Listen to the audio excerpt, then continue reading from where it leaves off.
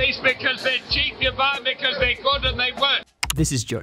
He started selling potato peelers in 1993. He sold so many he became a millionaire.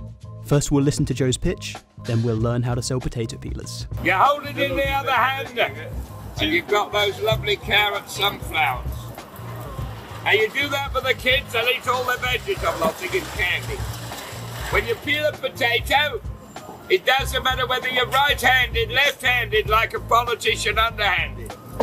All you take off that potato, or any other fruit and vegetable, is a thin layer of skin. You've got no waste to do it record time.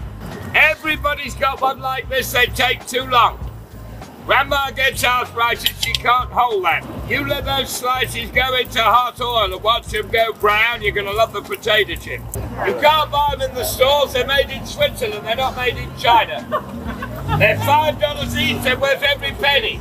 They last a lifetime. Joe makes it look effortless, but in reality, his pitch follows the oldest sales technique in the book good old AIDA.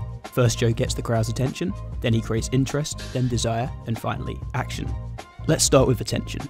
Before Joe begins his pitch, he pulls the crowd in close. Come up a yard, you'll see better come on. Once he's got their attention, he holds it. His language is direct, peppered with personal pronouns. His sentences are punchy, the majority seven words or less, and his word choice is simple, 80% are just one syllable.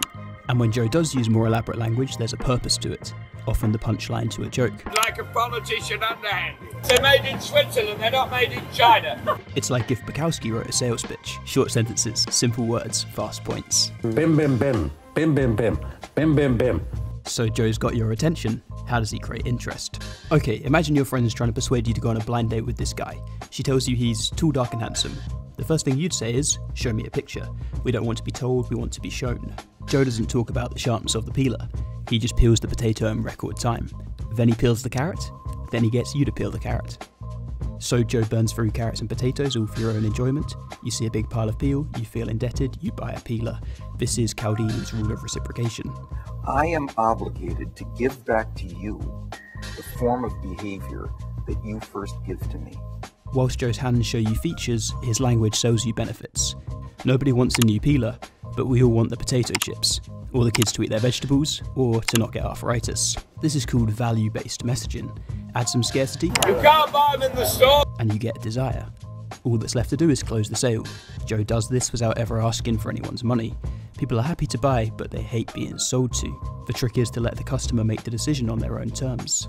Joe takes a wad of notes out of his pocket and moves the peelers to centre stage. The crowd reads his signal and proceeds to hand over their money. No income tax, no VAT, no money back, no guarantee. Okay, last thing. I read this line the other day that I think sums up Joe's success. All things being equal, people buy from their friends. So make everything else equal, then go make a lot of friends. Joe's likable, he's got a twinkle in his eye, he's full of charisma. And I think more than any salesmanship, that's what makes the difference. They call me a New York legend. That's how crazy this town is. My first video, thanks for watching, feedback's welcome. If you liked it, please subscribe. For more, check out marketingexamples.com.